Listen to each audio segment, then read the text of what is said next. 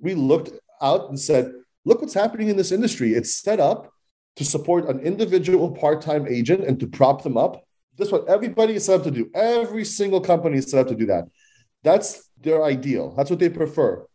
Nobody is actually designed in a purpose-built way for this smaller segment of agent that we believe over time will take up more share because they deliver a better service. They create more value in the transaction.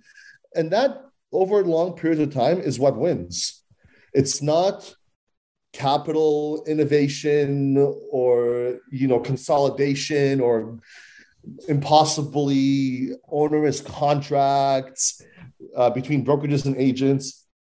What wins out at the end of the day is people creating real value for other people.